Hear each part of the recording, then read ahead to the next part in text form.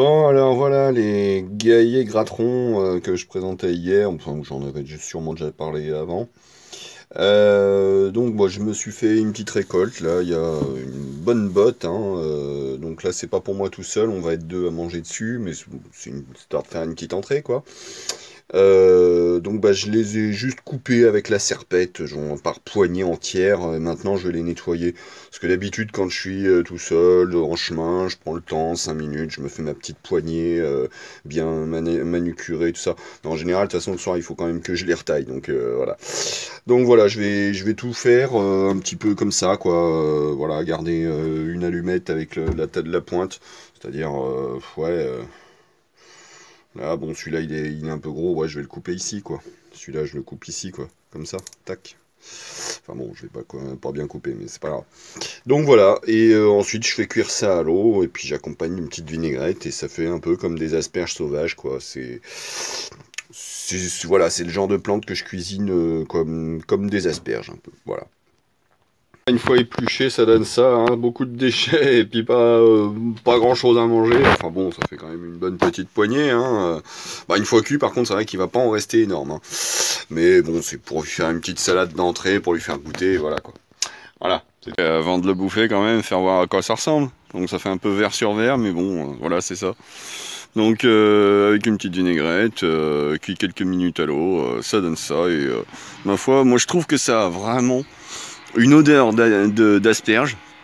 Et puis au niveau du goût, bon, c'est pas tout à fait les asperges. Ça a aussi la petite euh, rugosité de la tige. Mais euh, moi je trouve pas ça désagréable. Et euh, honnêtement, avec un bout de pain, ça passe très bien. Ça fait une bonne petite salade d'asperges selon moi. Voilà. Maintenant, vous en faites ce que vous voulez. Hein. Vous les goûtez ou pas, faites ce que vous voulez. Ciao Bon, bah là encore une petite vidéo. Euh, alors, euh, ce midi, après avoir fait les asperges de euh, Gaillet Gratron, hein, il y en a, voilà, il y a encore ce qu'il faut. Là, je vais lui faire goûter au papa, là, je vais lui faire goûter les, alors les brionnes dioïques.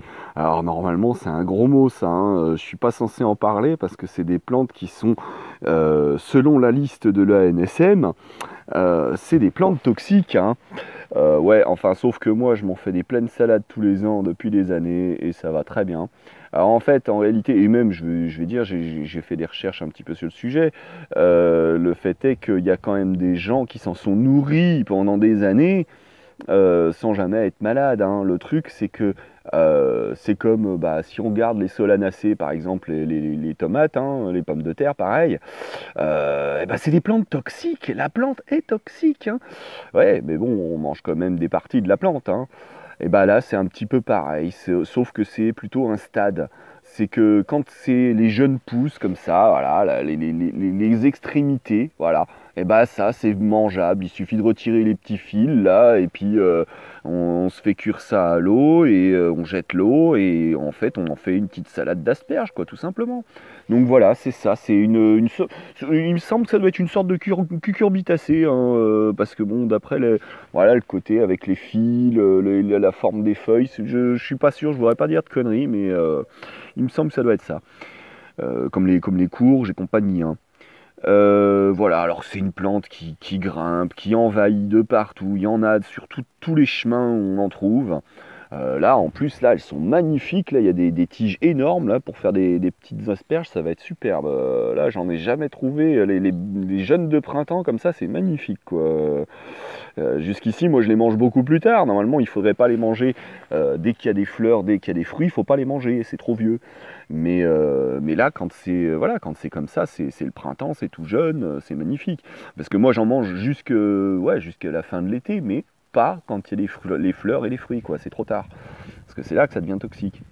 Donc voilà, ça c'est euh, une bonne plante à connaître, je trouve, parce que très honnêtement, eh ben moi, je la trouve très bonne en fait. Je trouve que c'est la meilleure des, de, celles des asperges sauvages que je connaisse, la fin de ce que je mange moi comme, comme étant des asperges. Donc voilà, Maintenant, vous en faites ce que vous voulez. Euh, c'est une plante toxique, hein, les gens. Euh, faut pas en manger. Voilà. Allez, salut. Donc, euh, finalement, ça fait un petit peu léger quand même. Même pour une dégustation pour deux. Pour moi tout seul, ça aurait été nickel. Ça m'aurait fait une bonne petite salade. Mais pour deux, surtout, bon, il a quand même de l'appétit, hein, le papa. Donc, je vais. alors là, c'est vraiment pour le principe. Euh, je suis tombé là, nez à nez, alors avec des, des, jeunes pousses de, houblon. Alors, c'est que mon téléphone il fait pas super bien de points. Alors, on voit pas trop trop bien hein, pour l'instant à quoi ça ressemble, ce que c'est. Euh, bon, moi je connais, je ressens, je, reconnais bien. Euh, bon, c'est vrai qu'encore que celles-là, elles ont une drôle de gueule parce qu'elles sont vraiment très, comment dire, piquantes en surface. bon, c'est le cas habituellement, mais là vraiment très rugueuse. Euh, et puis euh, d'une couleur très foncée. Bon, mais euh, je reconnais bien, ça c'est ça c'est de la pousse de houblon.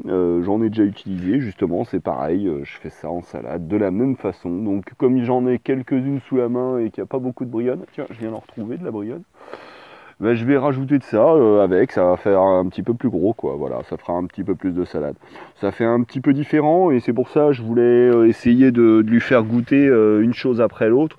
Mais euh, bon, il va encore se foutre de moi si je lui fais une toute petite salade comme ce midi. Donc euh, voilà, je vais ramasser tout ça. Je donne ça une fois bien épluché. Hein. Bon, j'ai retiré les fils. Les, bouts de queue un petit peu trop longs, euh, ça se sent sous les doigts s'ils sont durs, enfin qui risquent d'y avoir des fils dedans. Donc voilà, ça fait ça une fois nettoyé, hein, avec les... Bon, ça, j'ai même pas eu besoin de nettoyer, les, pousses de les de houblon, hein, c'était déjà tout propre. Donc voilà, et ben maintenant je fais cuire une petite sauce par là-dessus et puis ben voilà, c'est prêt quoi, tout simplement. Allez, ciao